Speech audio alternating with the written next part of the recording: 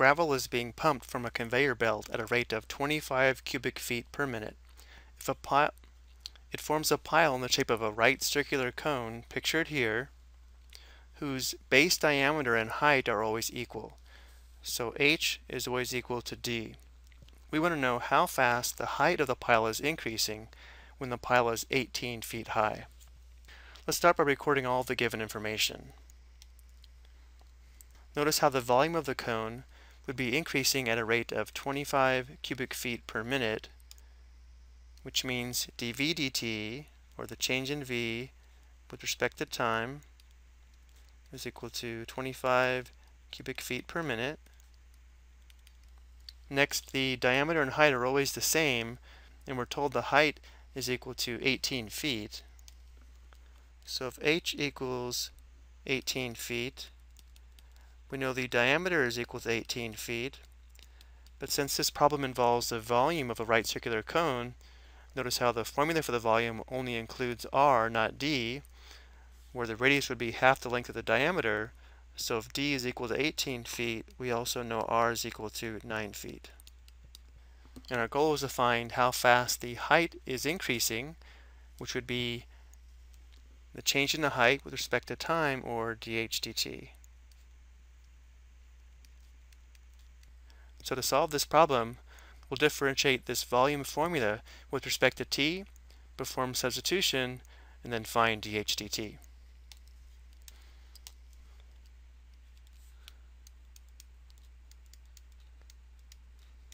Because we're differentiating with respect to t, we'll have to perform implicit differentiation.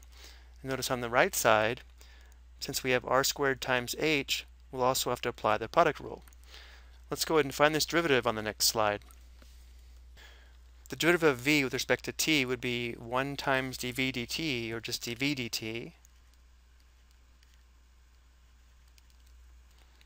equals on the right side the derivative of 1 third pi r squared h with respect to t would be 1 third pi times the derivative of r squared times h. So again, we're going to apply the product rule here. So we'll have the first function r squared times the derivative of the second function with respect to t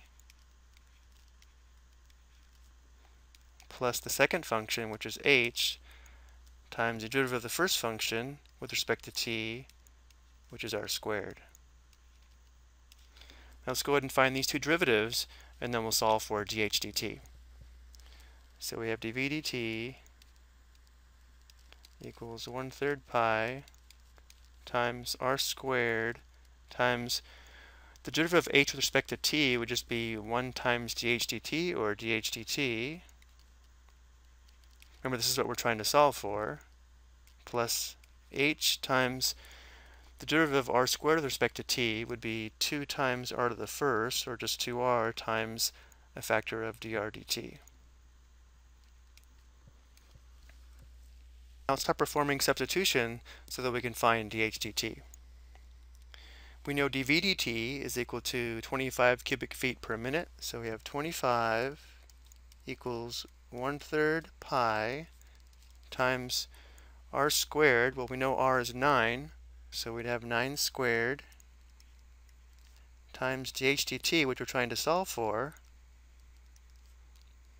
plus h, which we know is 18 feet, times 2 times r, we know is 9, times dRdt. We need to think about dRdt for a moment.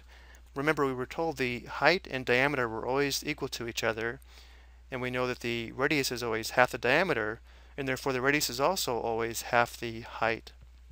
So the radius is always half the height, that means dRdt, or the change in the radius with respect to time, would always have to be half dHdt, or half the change in the height with respect to time. So we can substitute 1 half dh dt for dr dt.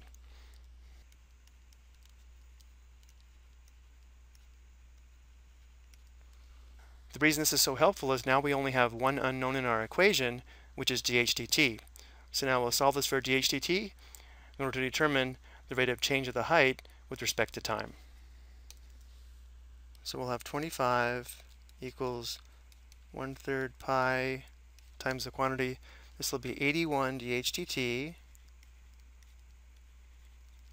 Notice here the 2 and the 1 half simplifies to 1.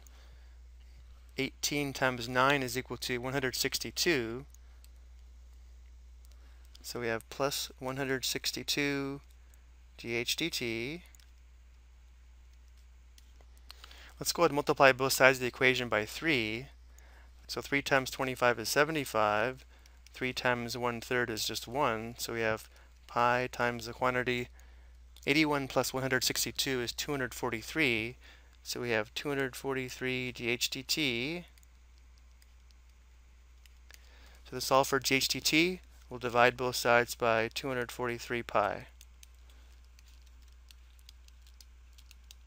So pi over pi simplifies to 1. 243 over 243 simplifies to 1. Notice how we now have the solve for dHdt. dHdt is approximately equal to 0.0982. Again, this is the change in the height with respect to time, so this would be feet per minute.